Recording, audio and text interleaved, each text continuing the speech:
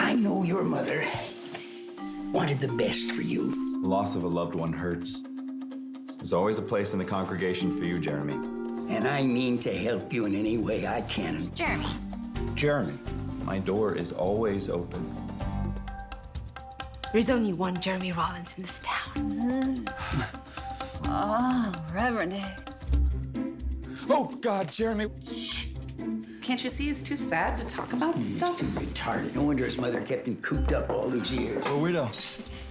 Rumor has it your old lady left you a ton of cash when she kicked the bucket. Is that true? Do you have any questions, son? Hmm, no.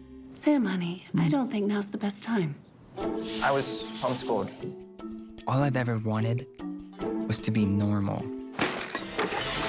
But I was born with this strange condition. What exactly is your condition?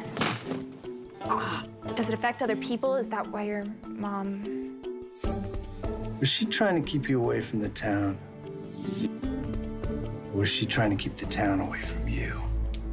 If somebody physically hurts me, the, the, the, the pain or pain injury is somehow transferred from me to the person that they care about most.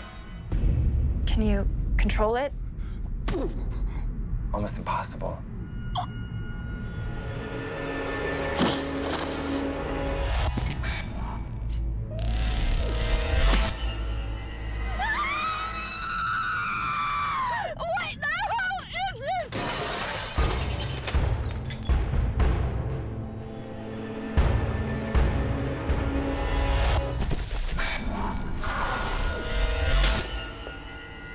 Don't hit him. You don't know what you're doing.